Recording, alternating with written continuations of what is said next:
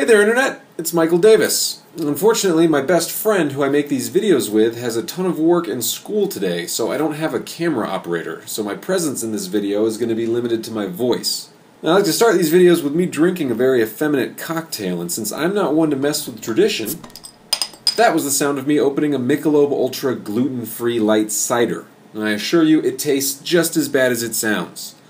Anyways, let's answer another question, shall we?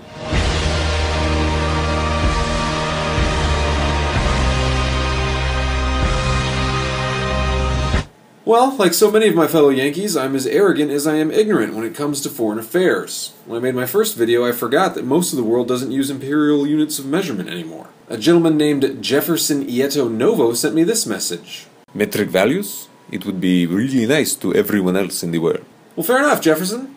Lego bricks are 5 sixteenths of an inch square and 3 eighths of an inch tall, which is just a hair shy of 8 millimeters square by 9.5 millimeters tall.